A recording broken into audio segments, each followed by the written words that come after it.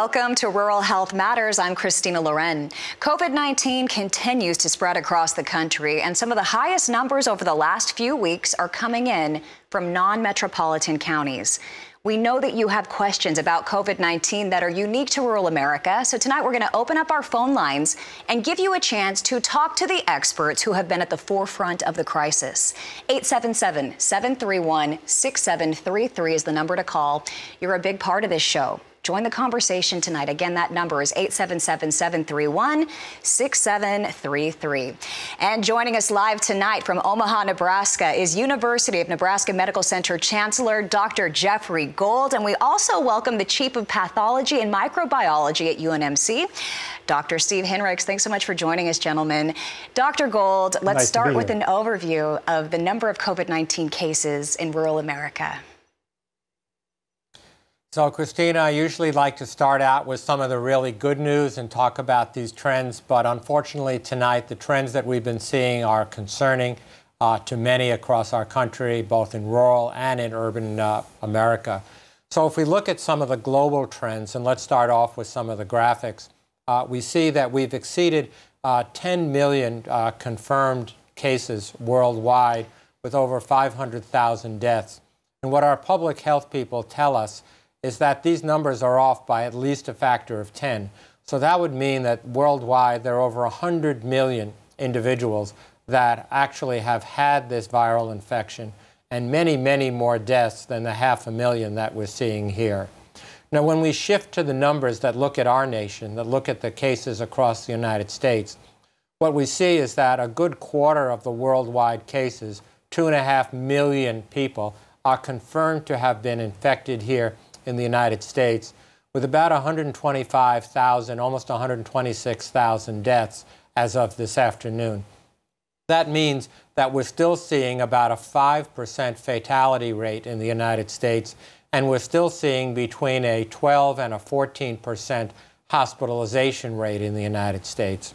And when we start to look at some of the differences and similarities between the rural and urban communities, what we see is that while the cases and the deaths and the hospitalizations continue to go up in the urban communities, they're also continuing to rise in our farming and ranching communities, which is, of course, an area of concern. Because for a very long time, these large urban communities, think New York, LA, Detroit, uh, New Orleans, etc., really led the country in the number of cases, the number of hospitalizations, and the number of deaths.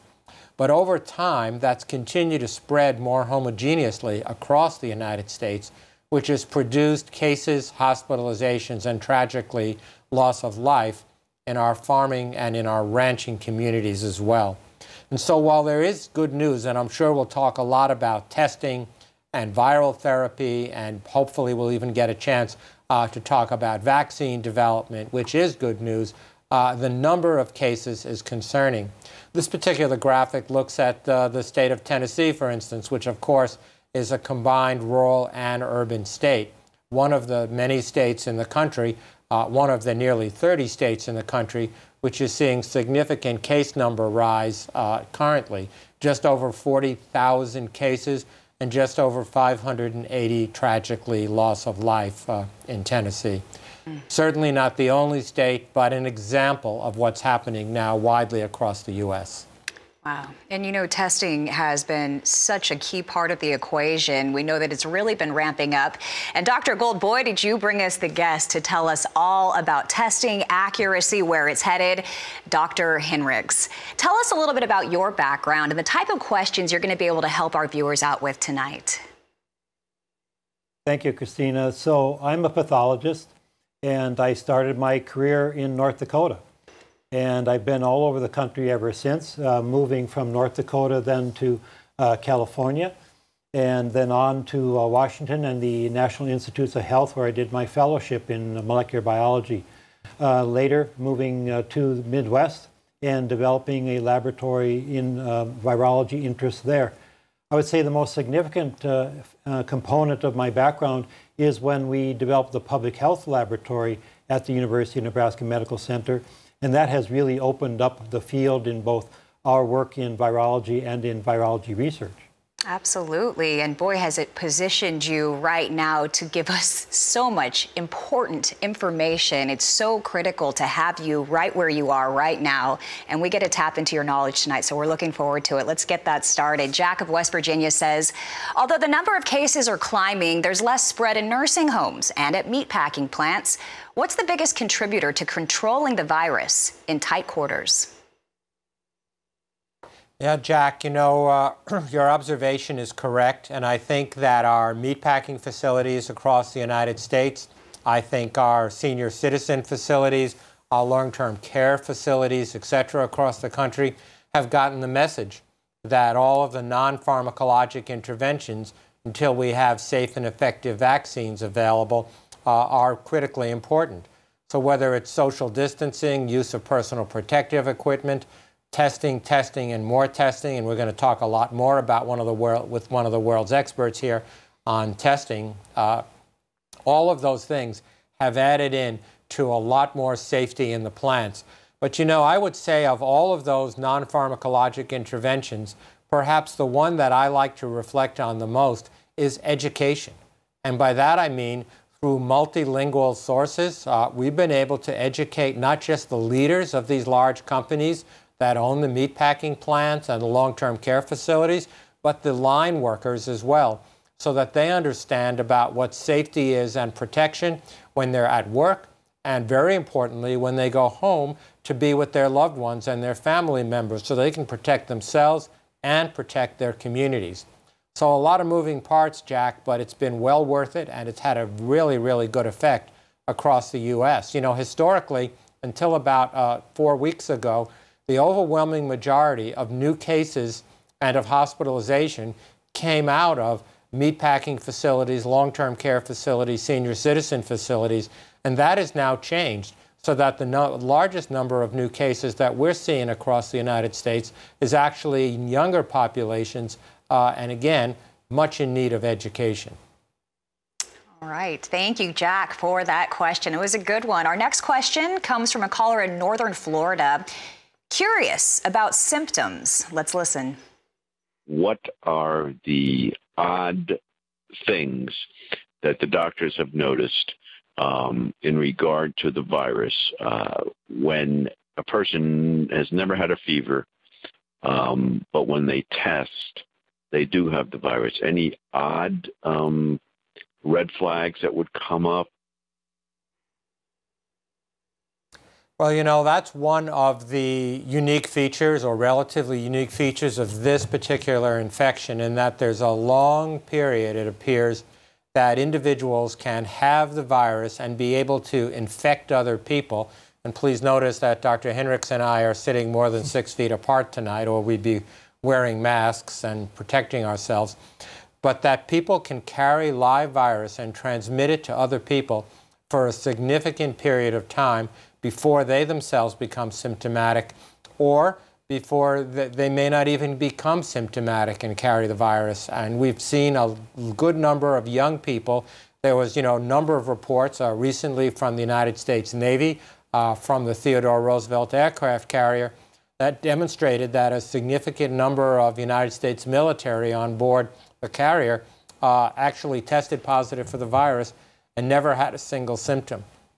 You know, Dr. Hinrichs, in your experience, I mean, how rare is that? Is, is that surprising uh, that this virus is so uh, different in that way, or is this unique to this class of viruses? Well, I think, in fact, it's very similar to what we've been seeing with other coronaviruses, and we have at least uh, three or four of those circulating in, in our communities now. Um, and in addition, I think one of the most unusual factors or features of this virus related to the question is the loss of taste and smell. Mm -hmm. That's very interesting and very unusual. There are some Coxsackie viruses that do that. In fact, when I first heard it, I said, well, they must be talking about the wrong virus. But it's been seen over and over again that individuals who are infected lose their sense of taste and their, and their sense of smell. The good news is they recover it, is what I'm told. It's true. Yeah, it's sad to go through life without your sense of smell.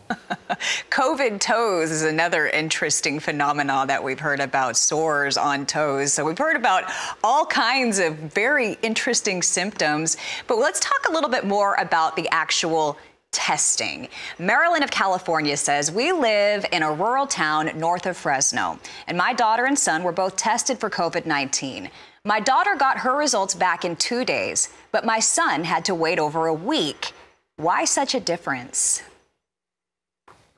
Well, that's a very important issue, and it all depends on a number of important factors. The first issue is was the testing done uh, easily, and did the result was it clear cut? If the result is clear cut, that means they'll usually release the information right away. But if the individual had, an, had a test that was on the borderline and the company wanted to go back and look at it a couple more times, that could definitely delay the situation and delay the result that was eventually reported. Okay. Other factors, Steve, that might delay it?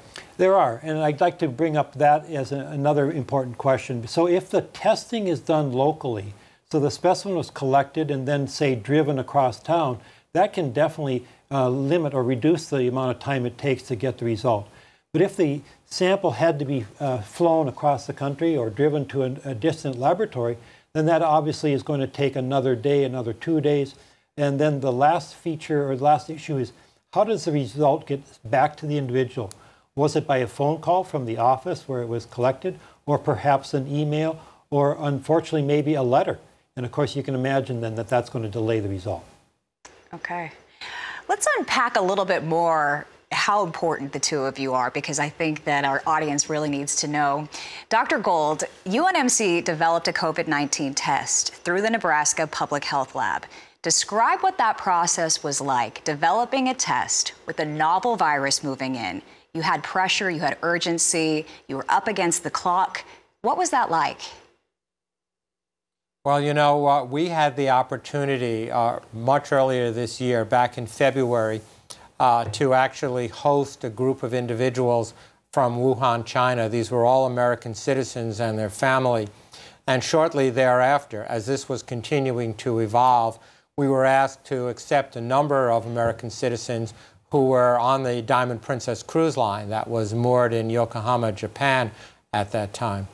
And so that was a, a real wake up call to our Department of Pathology to think about what we could do to develop reliable testing. Because not only for these individuals who might need it, to answer the question of okay, if somebody is infected uh, with COVID, when could we safely send them home? Uh, could they visit with their family members and things of that nature?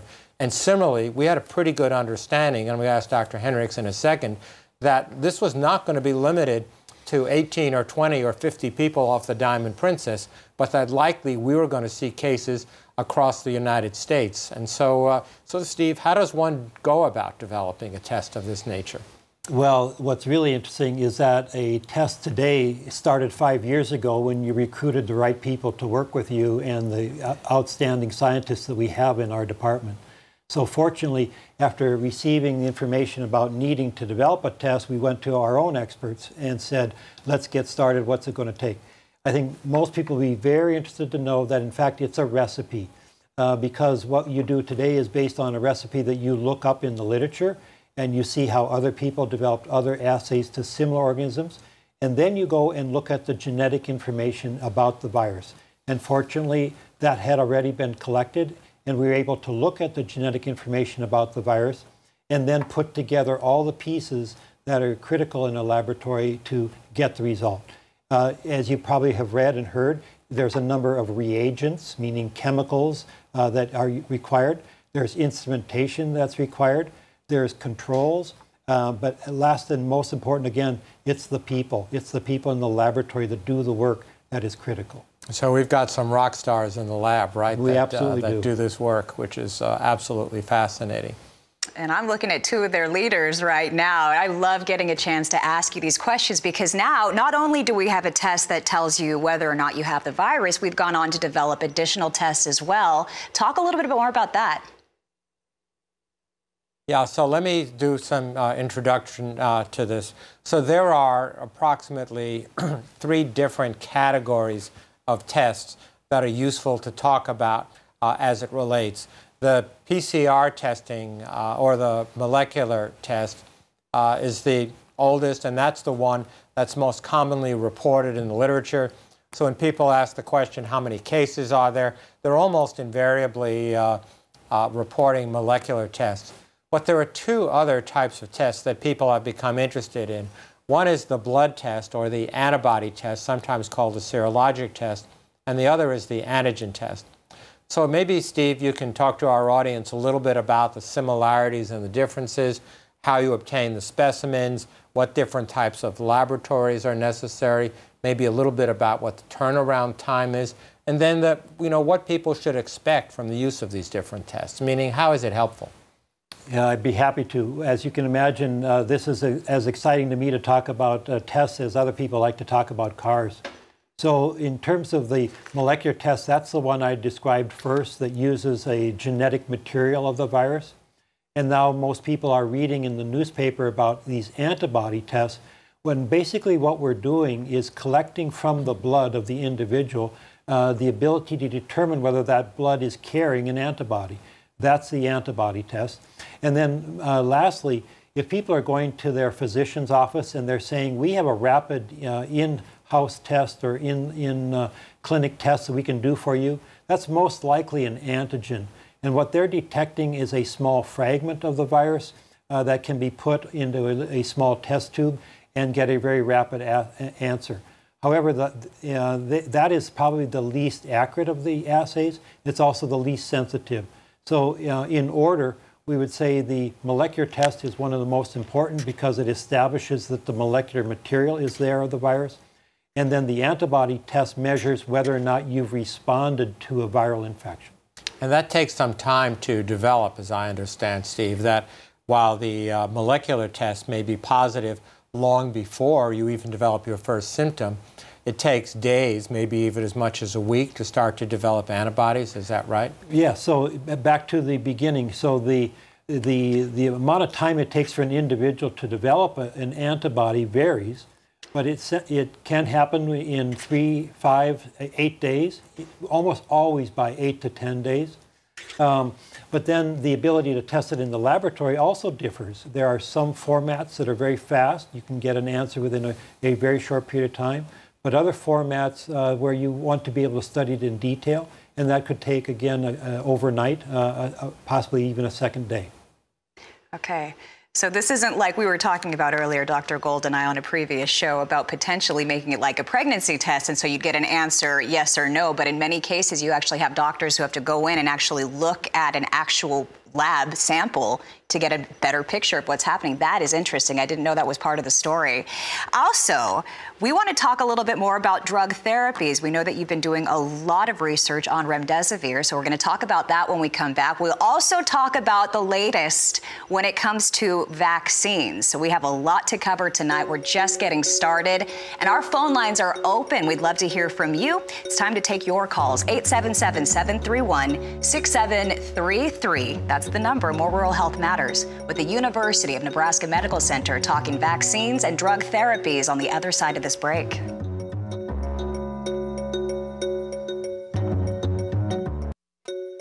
Welcome back to Rural Health Matters. I'm Christina Loren. Joining us once again, University of Nebraska Medical Center Chancellor Dr. Jeffrey Gold. And we are also joined by Dr. Heinrich tonight. So we have a lot to talk about. Let's talk about what you're learning in regards to treating or preventing the virus. We want to know about progress with drug therapies and vaccine development. So why don't we start talking about therapies first, because I think that they're going to be first uh, before we're going to get to uh, effective and safe vaccines. Uh, so as we've talked about on this show previously, uh, uh, we've done a lot of the research on the remdesivir drug, which is the Gilead product. Uh, it's an antiviral agent that was first developed for things such as dengue fever and Ebola, and actually HIV going back to its, its uh, early origins.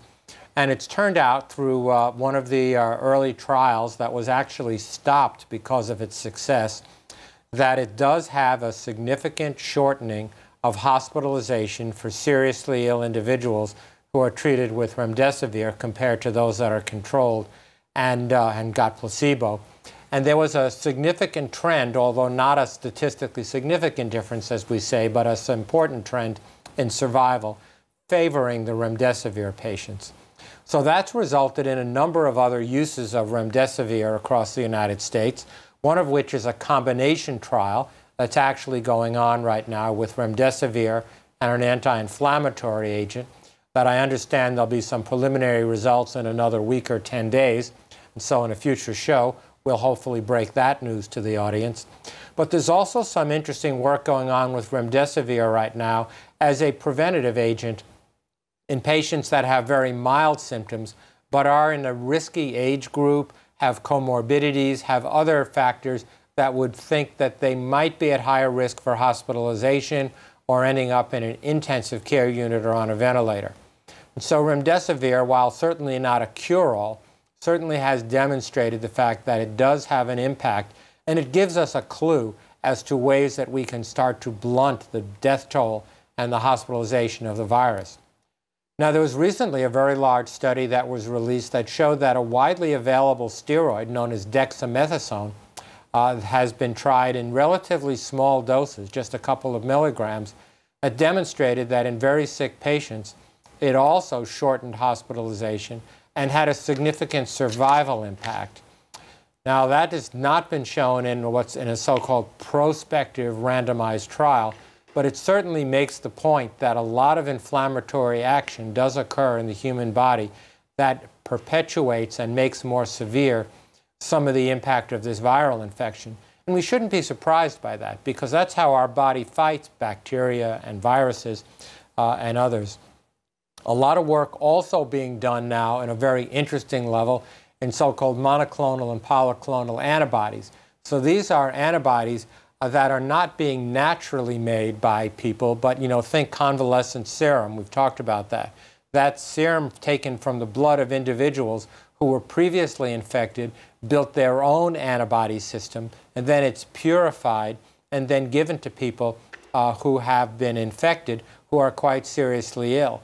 And again, not conclusive, but some preliminary data on what's going on in the ability to blunt the severity and the duration of the infection.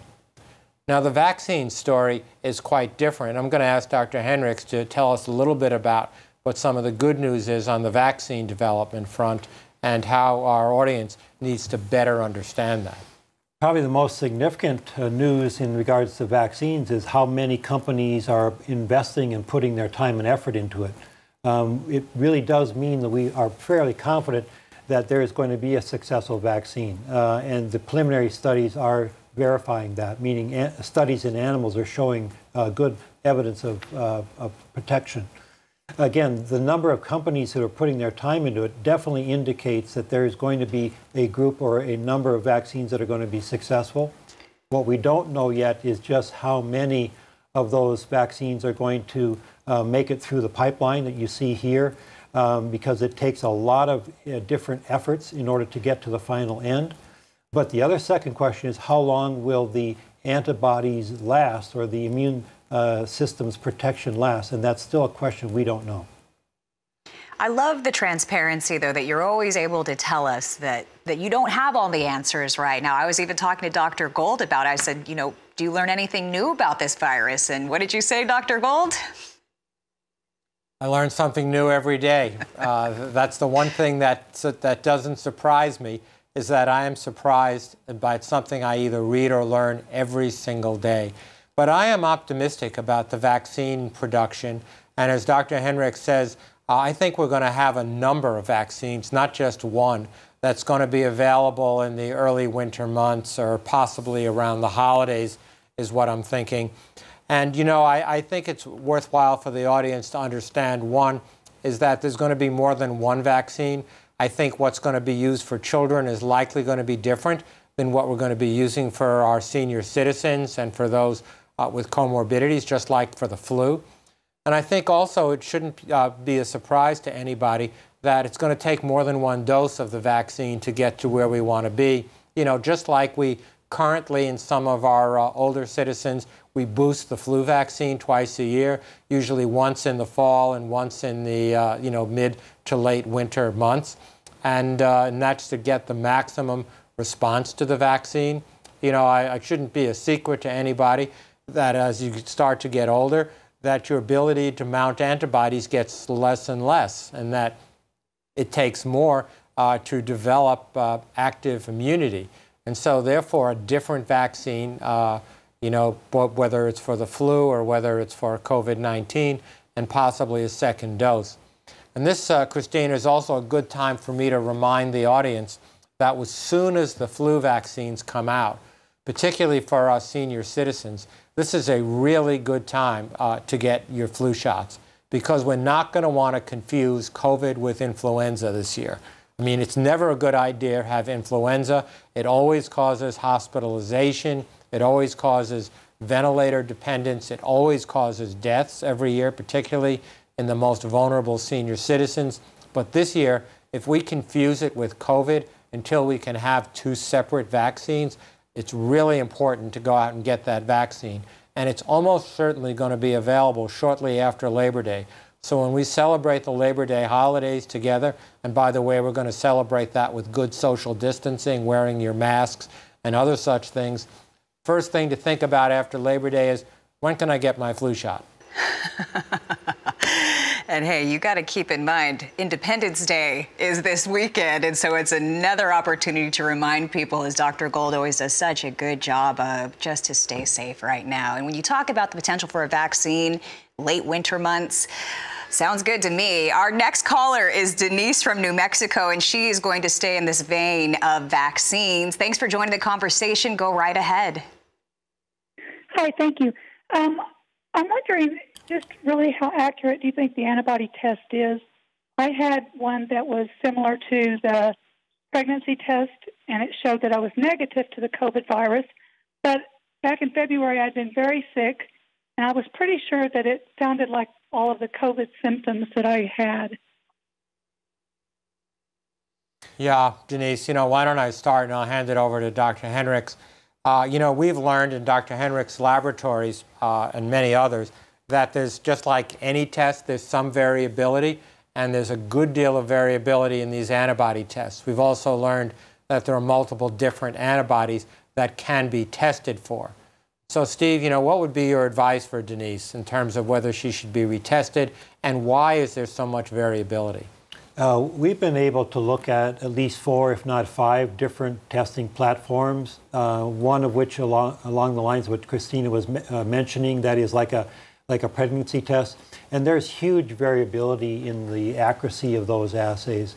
Um, in fact, some of them are no better than a coin toss, 50% uh, accurate. Uh, others differ because of the scientific background and considerations that went into the test.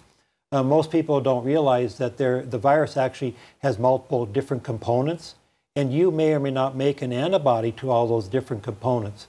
So, in fact, the test may be correct, but it didn't ask the right question.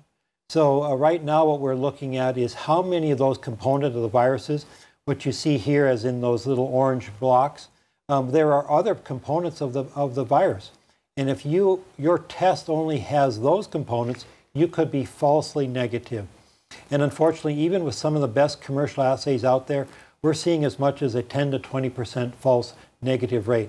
So actually, the real question is, uh, do you have access to other assays or tests in your community, or should you just wait to see now when we have an, another couple assays that are out there and whether uh, you should have those tests? So my guess is right now it doesn't matter uh, to you, but it, when we have the vaccine, it will matter, and that's when we think we're going to have the best tests that are available. And that continues to evolve, right, Steve? You know, uh, Absolutely. if you think about it, when the first uh, antibody test came out, there was a very wide variability uh, of those that were emergency use authorization certified. And over time, that's gotten narrower and narrower as the tests have gotten more and more accurate. And so, Denise, I, I guess uh, if you really have to know, you could be retested. I would not recommend a point of care test. Would you agree with that, Steve? Yes, and by a point of care test, meaning one of those uh, small um, pregnancy type assays. Uh, we really think that it'd be better if you then uh, either went to your physician and told them you already had one negative and that maybe you were thinking that you should be tested again. And if they were convinced, they may send your specimen off to a reference laboratory, one of the national laboratories, where they would have another uh, test that they could use.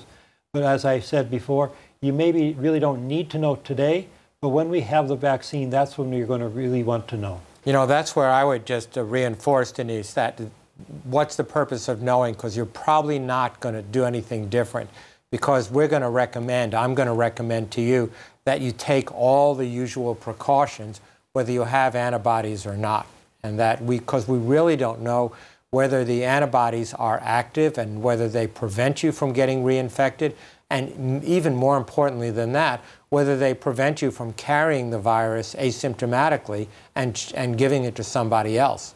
Those are essential points, Dr. Gold. I can't uh, emphasize them enough, meaning uh, we don't really know what the antibody means or which antibody. So at this point, still protect yourself with a mask, still use social distancing. Uh, that's what's important until we have a vaccine or we actually uh, obtain herd immunity throughout the country. Okay, so if you get that antibody test back, it says you did recover from COVID 19. It is not a ticket to ride. We still need to treat the situation as we did before. Okay. It is not a ticket to ride, Christina. Thank you for clarifying that. Our next question comes from Melissa in Arkansas. Let's listen. And I just wanted to know when we get past all this crazy COVID 19 silliness, what are the chances of us getting another disease to humans in the next five to 10 years? Thanks. Yeah, so, you know, COVID, uh, SARS CoV 2 is the name of the virus.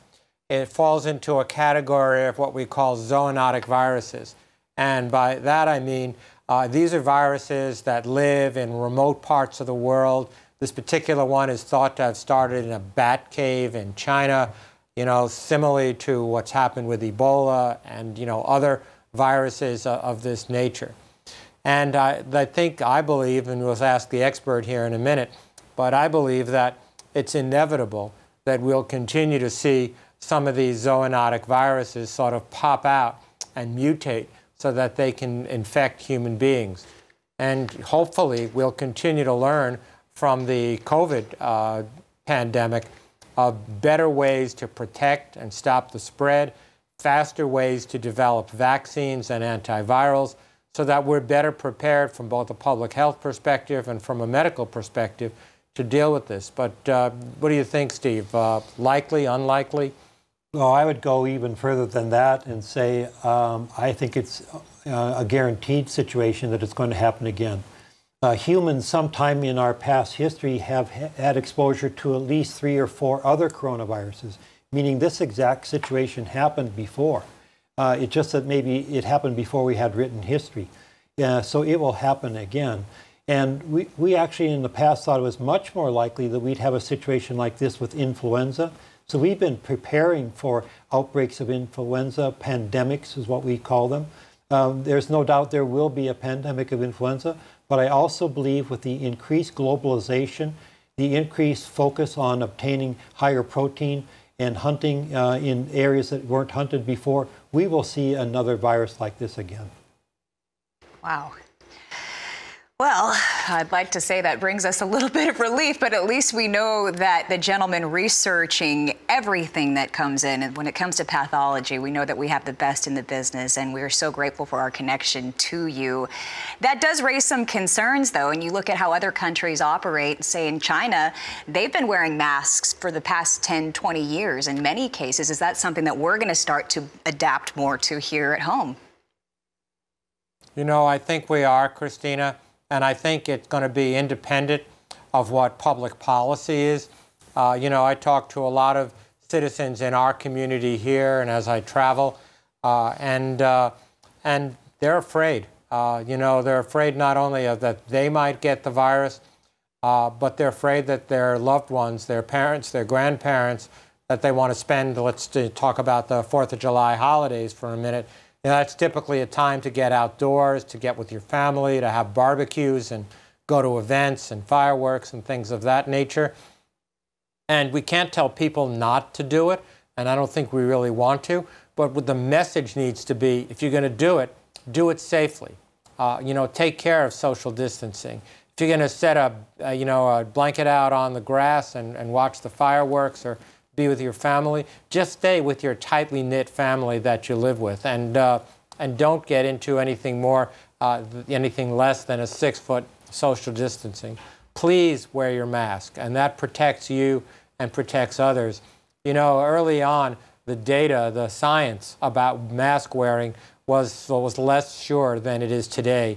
Uh, and I'll tell you that I won't go out into public, whether it's to the grocery store or to the pharmacy or even for a walk in the park, uh, without wearing my mask, even though I'm with friends uh, and others. And I actually got my mask right here, and I like to, to express my old brand loyalty. You know, uh, it's our Med Center brand, and uh, and I'm seeing here uh, uh, Mr. Gottsch just joined us in the studio, and he's wearing his mask and looking pretty darn good. So, uh, uh, you know, if uh, if uh, our president and CEO can wear a mask, if Dr. Hinrichs and I can wear a mask, you know, it's a really small thing to ask people to do. And as you said, uh, other parts of the world, particularly in the Far East, have been wearing their masks routinely for years, decades. Yep. and, and if this becomes the new normal, I would say that's a small price to pay. Absolutely. Health, it's everything. All right, we are going to pause for a quick break, but our phone lines are open and we'd love to hear from you. 877 731 6733 is the number to call. More Rural Health Matters with the University of Nebraska Medical Center right after this.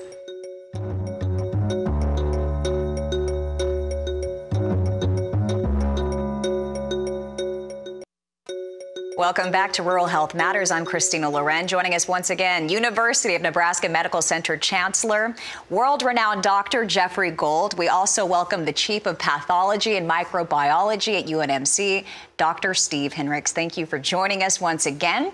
Our next question comes from the Peach State. Eloise of Georgia has a question about a technique for cleaning masks. Let's listen a friend of mine told me that a doctor told her that you how you could sanitize those uh, cloth masks was put them in a brown paper sack and put them uh, like on, up on your dash or somewhere where the warm hot sun could and said that would sterilize them. Yeah, Eloise, you know, uh, there's a lot been written about reusing masks and cleaning masks. I don't know if I'd quite call it sterilizing them, but certainly for the cloth masks, you want to wash them in warm water or hot water, and then you want to put them in a dry cycle because the combination of the washing and the heat drying definitely is badness for this virus, and it's going to render it, uh, hopefully kill most of the virus particles. There's been a lot of uh, work on ultraviolet light uh, to kill the virus particles, which it seems to be sensitive to. And then even drying in the sunlight is somewhat effective. But how effective is the sunlight, Steve? Do you think it's something that we want to recommend to just to put your mask out there on the table and, uh, and, and let the sun beat down on it during the day?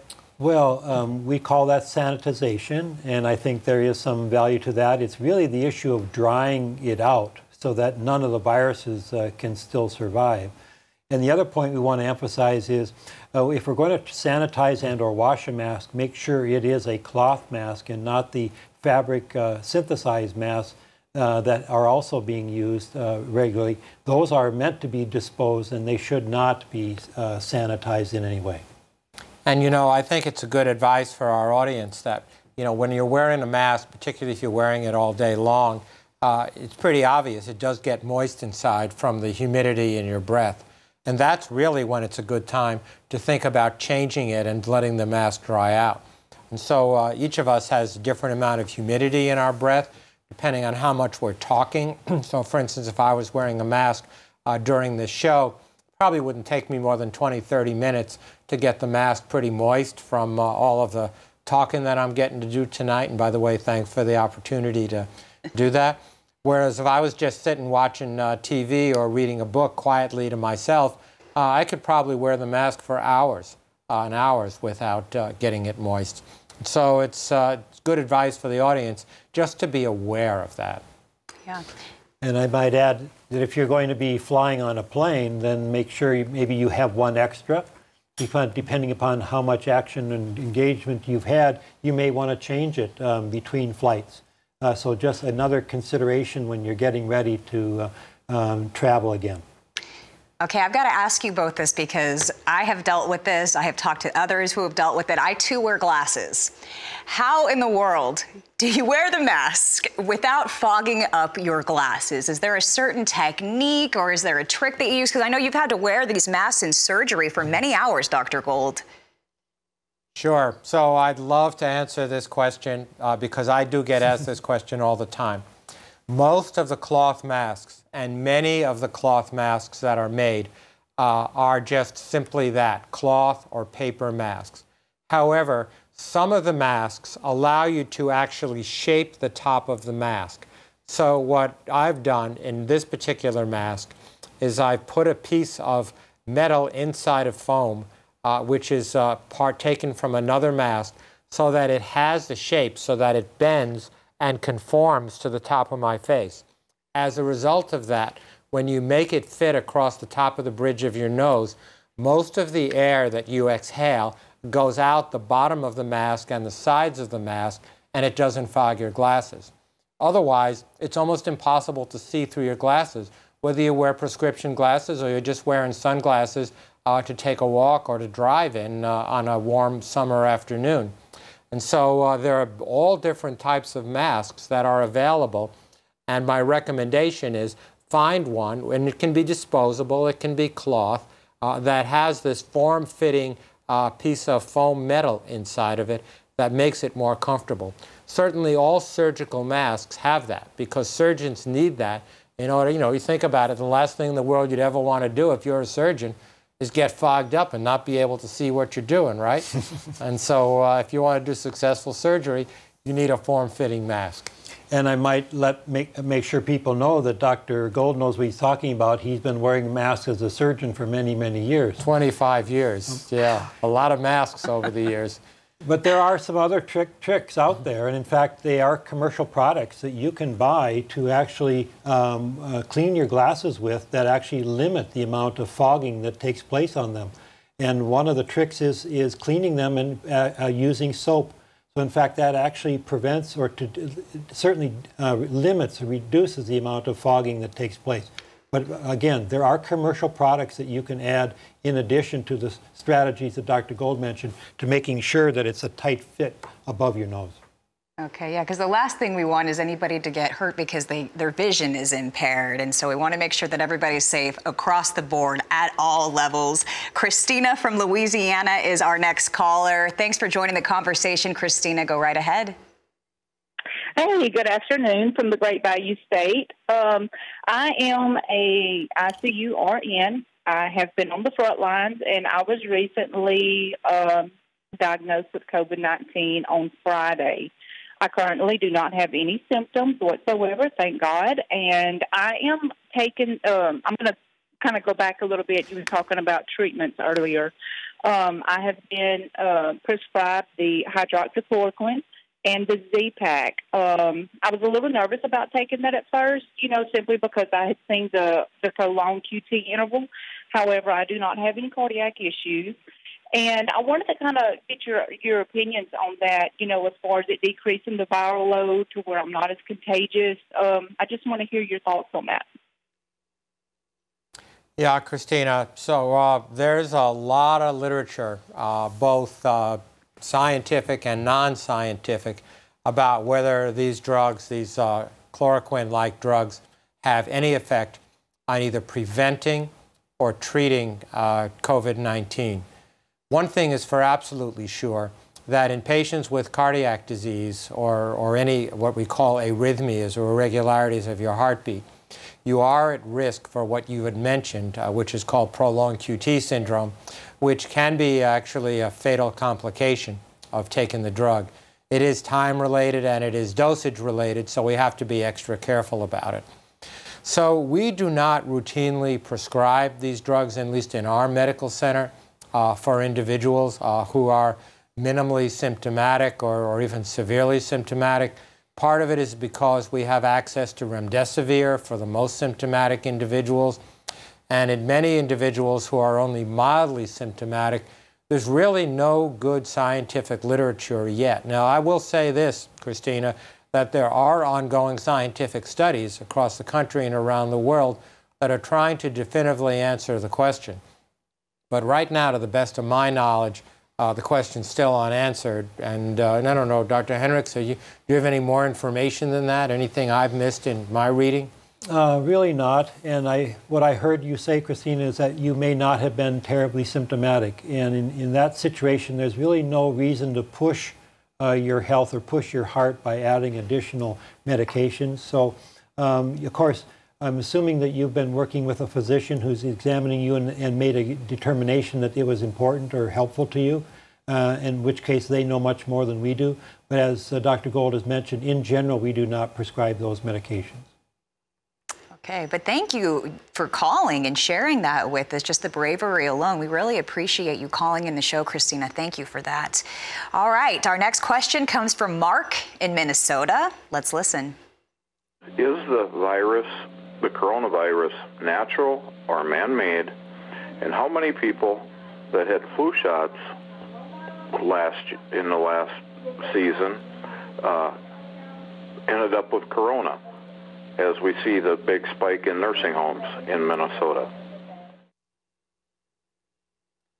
Yeah, Mark. Uh, so, you know, hopefully we'll definitively answer your question in the future, but right now, people think, I am led to believe, but only because of what I read and hear people say, that this is a naturally occurring virus uh, that came from a cave uh, in central China, spread through the wet food markets of China, and then from uh, mutated from being resident in bats to uh, ultimately uh, to be able to infect human beings. And, uh, and there's all kinds of conspiracy theories about whether these came out of a laboratory in China or elsewhere, whether or not they're man made or naturally occurring.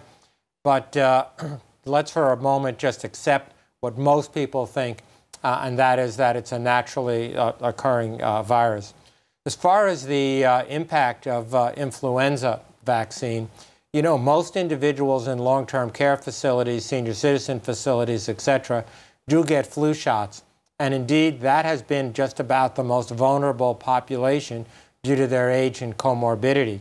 So there's really no reason to think that the immunity that's conferred by influenza vaccine uh, does anything specific, underscore the word specific, for COVID 19. Now, whether a heightened immune capability due to the flu shot or actually uh, for that matter, due to any vaccine, such as even smallpox vaccine or measles vaccine, etc., creates a more immunologically capable host? Uh, I don't know the answer to that. Dr. Hinrichs, do you have any thoughts on that question? Because there's been a good deal written recently on that. Yeah, well, let's start uh, back with your question, Mark. And you aren't the only one asking that. A lot of people are asking that question of where did this virus come from? And all I can do is share with you the science that we have uh, and, and the evidence in our own laboratory. And the evidence is that we've obtained the genetic information or the code of this virus and compared it to other viruses, in particular the viruses, coronaviruses from bats. And this virus is more closely related to the coronavirus from bats that, existed uh, prior to 2019 than it is even close to its nearest neighbor, which is SARS-1.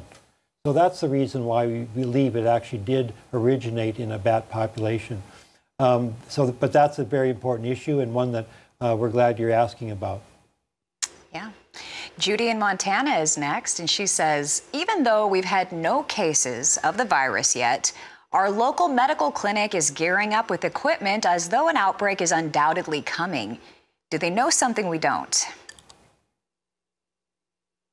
Well, you know, uh, I don't think they know anything for sure, Judy, but, uh, you know, as one of our national leaders once uh, uh, recently said, is that the virus in, in this country and around the world spreads like a wildfire. And, and what they meant by that is that it can start off as a small area and it sort of becomes like a tinderbox in a long-term care facility, in a meatpacking plant, in the congregation of a church or a choir, or an athletic team.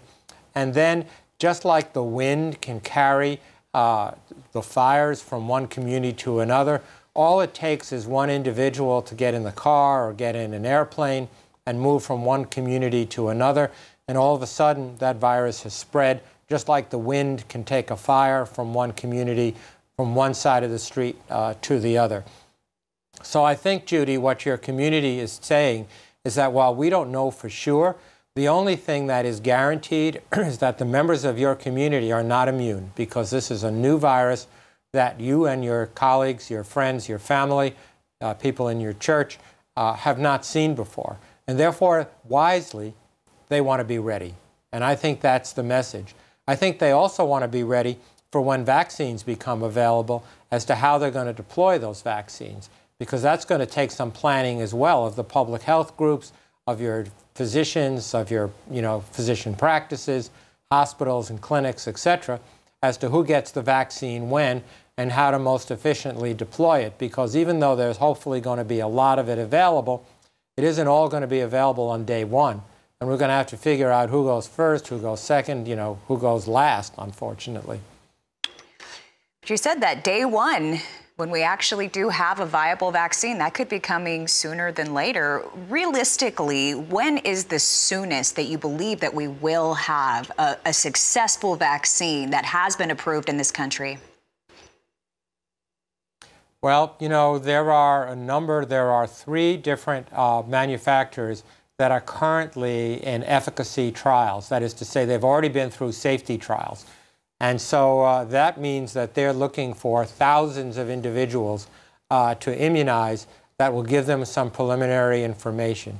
Typically, these trials take years, but at the current way this is being scaled, I was, I'm guessing, you know, four months, six months, Steve, do you have any other thoughts on that? Uh, the only other thought I'd have is that uh, in your community there may well be a medical center or entity that is actually testing the vaccine now. Yeah, like what we're going to do, right? Exactly right. So pay attention and uh, by all means volunteer if one uh, becomes available. We'd very much like you to participate. That's going to be important for the country. Absolutely. Absolutely. What, a, what an interesting time. So grateful for the partnership that we have with UNMC. It's just been such a blessing for all of us here in rural America. As we go into Independence Day, we don't have a lot of time, Dr. Gold, but I just wondered if you had some words for our viewers just to reinforce before another big holiday. Yeah, you know, uh, the responsibility is on each of us, uh, and particularly as we go into this holiday uh, things around social distancing, uh, wearing personal protective equipment, being sure we have more than enough masks going into the holiday, uh, making sure we sanitize and wash our hands and surfaces, and that we're very conscious that if we're ill, feeling ill, if we're with somebody who's ill, that we stay home, that we call our medical professional, and we take all those precautions. It's not just your health and wellness, but it's about all of those that we love and we trust in our communities that depend upon us being socially responsible. So this is a really good time to remember that it's on you and I. That's right. And uh, protecting our neighbors is so important. So we got to wear those masks. Thank you all for joining us so much tonight. UNMC Chancellor Dr. Jeffrey Gold, Chief of Pathology and Microbiology at UNMC, Dr. Steve Hinrichs, really appreciate you joining us. Always looking forward to the next guest that you're going to bring us, Dr. Gold, because you always bring us such wonderful guests. Thank you, Dr. Henrick. You're just a wealth of information for us tonight. All right, stay with us. Coming up at 8 Eastern during Rural America Live, you're going to meet 25 years of champions at the World Livestock Auctioneer Championship, plus important industry discussion, 8 Eastern, 7 Central, right here on RFD TV. Wishing you and your family a beautifully blessed evening. Hope you stay safe, and we'll see you back here next week.